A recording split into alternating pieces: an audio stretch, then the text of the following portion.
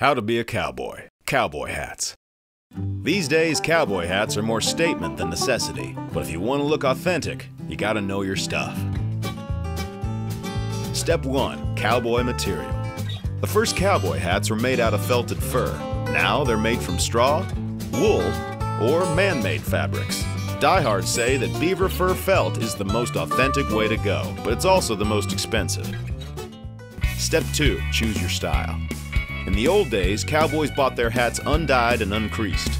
Some say the way they creased their hats signified where they were from. The brim spoke volumes too. Wider brimmed 10 gallon hats were more popular in Texas, while smaller hats were common on the northern plains. Let your hat reflect where you came from, or where you want to go. Step 3 Find your fit. A cowboy hat should feel snug on your head.